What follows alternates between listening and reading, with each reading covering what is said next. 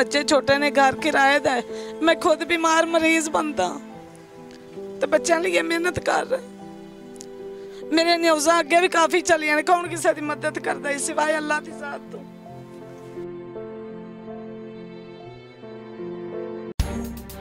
मुनफरद, दिलचस्प और हैरत अंगेज वीडियोस को देखने के लिए न्यूज़ ऑन को सब्सक्राइब करें और बेल आइकन को क्लिक करें। शुक्रिया।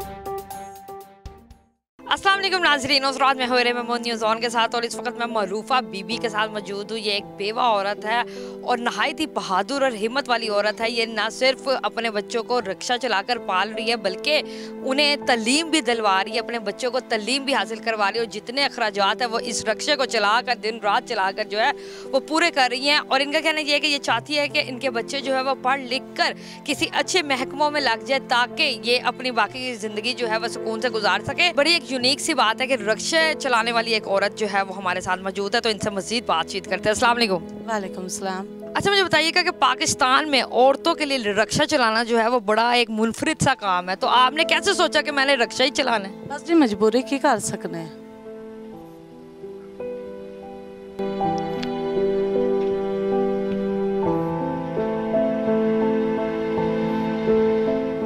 क्या वे रो रही हैं ਅੱਲਾਹ ਤੋਂ ਸਿਵਾ ਕੌਣ ਕਿਸੇ ਦਿੰਦਾ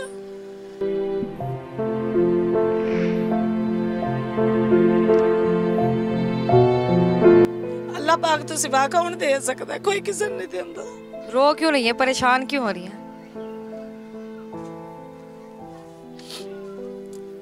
ਦਿਲਾਸਾ ਦੇਣ ਨੂੰ ਕਹਿਣ ਨੂੰ ਹਰ ਬੰਦਾ ਕਹਿੰਦਾ ਕੌਣ ਕਿਸੇ ਦੀ ਮਦਦ ਕਰਦਾ ਹੈ? ਪਰੇਸ਼ਾਨੀ ਕਾਦੀ ਬੱਚੇ ਛੋਟੇ ਨੇ ਘਰ ਕਿਰਾਏ ਦਾ ਹੈ।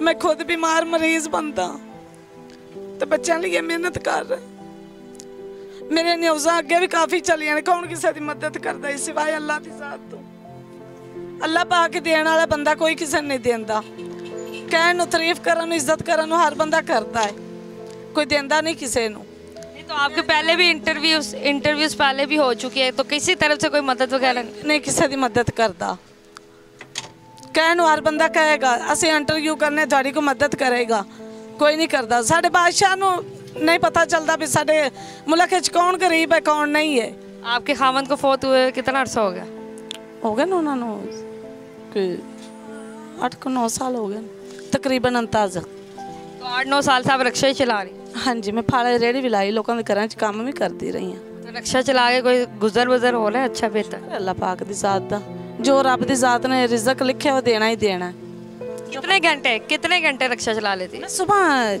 7 ਵਜੇ ਤੋਂ ਲੈ ਕੇ ਸ਼ਾਮ 6-7 ਵਜੇ ਤੱਕ ਚਲਾਨੀ ਆ तो इसमें कोई स्कूल वगैरह कोई बच्चे वगैरह भी लगाए हुए हैं लगाए हुए ने स्कूल के बच्चे भी लगाए हुए क्या रूटीन है आपकी सुबह उठ के कैसा सफर शुरू होता है आपका ਮੈਂ ਸੁਬਾਹ ਉੱਠਣੀ ਆ ਬੱਚੇ ਵੀ ਨਮਾਜ਼ ਪੜ੍ਹਦੇ ਨੇ ਆਪ ਵੀ ਨਮਾਜ਼ ਪੜ੍ਹੀ ਦੀ ਹੈ ਸਵਾਰੀਆਂ ਲਾਵੀ ਦੀਆਂ ਸਕੂਲ ਦੀਆਂ ਦਫ਼ਤਰਾਂ ਦੀਆਂ ਉਸ ਤੋਂ ਬਾਅਦ ਕੋਈ ਮਿਲ ਗਈ ਹੈ ਸਵਾਰੀ ਤਾਂ ਠੀਕ ਹੈ ਨਹੀਂ ਤਾਂ ਫਿਰ ਉਹਨਾਂ ਦੀ ਵਾਪਸੀ ਵਾਪਸੀ ਟਾਈਮ ਹੋ ਜਾਂਦਾ ਹੈ शाम सात बजे के बाद रक्षा नहीं चलाती नहीं मैं दिन के टाइम चलानी रात नहीं चलाई था तो ये आपके चार बच्चे चारों पढ़ रहे चारों तलीम हासिल कर बच्ची ब्याही हुई है। उनके को माशाला बच्चे ने तो मेरे तीन बच्चे छोटे ने। एक है बच्चा है तो बाकी दो बच्चे का एक कहते तो बेटी छोटी एक बेटा बड़ा है। तो बच्चों को पढ़ा लिखा के क्या बनाना चाहती हैं? इन ताला अच्छी तलीम देंगे अच्छा बनावे तो कभी चलान हुआ है आपका? कई दफ़ा हो भी जाता कई दफ़ा नहीं भी होंगे किन बातों पे ज़्यादा चलान होता है आपका? ज़्यादा खास कर होया ही कभी नहीं। बस दो को दफ़ा होया चलान। वो जो पुलिस वाले जो वार्डन आपका चलान करते हैं वो देख के एकदम हैरान नहीं हो जाते यार मैं किसका चलान करूँ? नहीं चलान होंगे कोई नहीं। जगह कती हो भी जाए तो फिर पाँच गुणा एक जैसे तो है भी नहीं।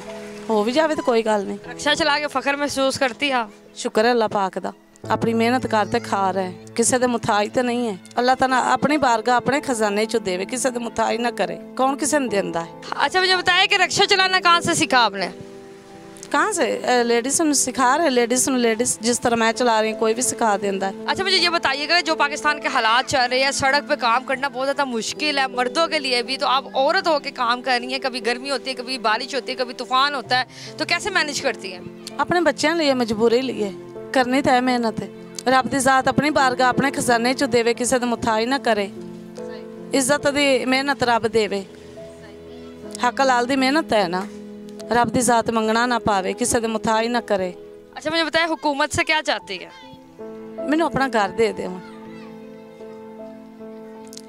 ਮੈਨੂੰ ਆਪਣਾ ਘਰ ਦੇ ਦਿਓ ਮੇਰੇ ਬੱਚਿਆਂ ਨੂੰ ਤਲੀਮ ਅੱਛੀ ਕਰਾ ਦੇਵਣ ਬਸ ਮੈਨੂੰ ਹੋਰ ਕੁਝ ਨਹੀਂ ਚਾਹੀਦਾ जी नाजरीन, ये थी रक्षा गर्ल और ये रक्षा चलाती है। गर्मी और सर्दी और बारिश और तूफ़ान और कुछ भी हो तो ये अपना काम जो है वो बहुत खूबसूरती के साथ जो है वो सर अंजाम देती है। और इनका कहना ये है कि ये इतनी मेहनत जो है वो सिर्फ़ इसलिए करी क्योंकि ये अपने बच्चों की कफालत करना चाहती है।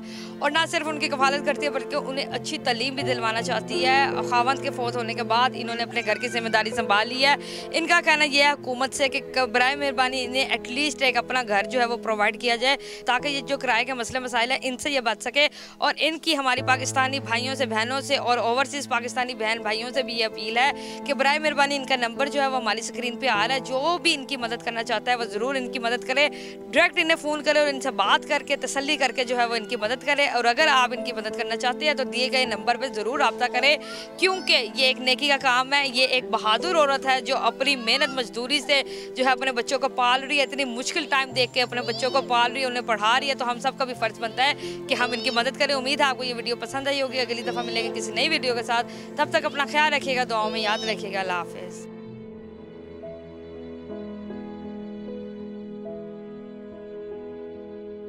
वीडियो सोशोन के ताउन से पेश की गई है। सोशोन पाकिस्तान का नेशनल सोशल मीडिया नेटवर्क है। अपना अकाउंट बनाने के लिए सोशोन डॉट कॉम पर जाएँ या गूगल प्ले स्टोर और एप्पल ऐप स्टोर से सोशोन ऐप डाउनलोड करें और पाकिस्तान का अपना सोशल मीडिया इस्तेमाल करें।